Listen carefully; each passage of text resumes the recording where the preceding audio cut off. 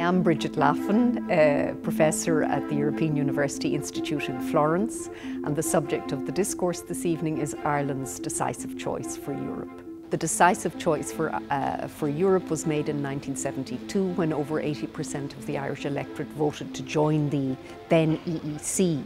I will look at what Ireland has contributed to the EU, but also what we need to pay attention to in future.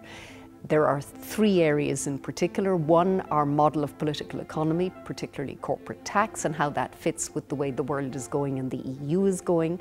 Uh, who our allies will be and what alliances we can form given that the United Kingdom will leave the EU and therefore that's a very different EU for Ireland, the EU of 27 and then finally how we manage Europe from home.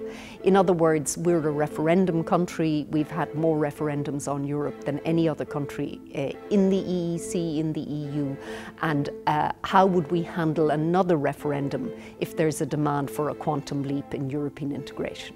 We now find ourselves, at, as we approach the third decade of the 21st century, in a world of disorder rather than order. I think there's been a world of shift and shock. Brexit in 2016, the election of Trump in 2016.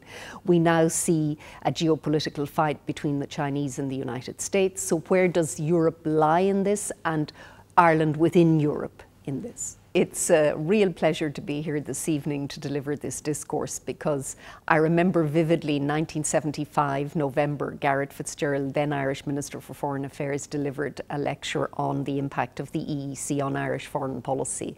And that was at the start of my uh, career and engagement with the EU as a subject.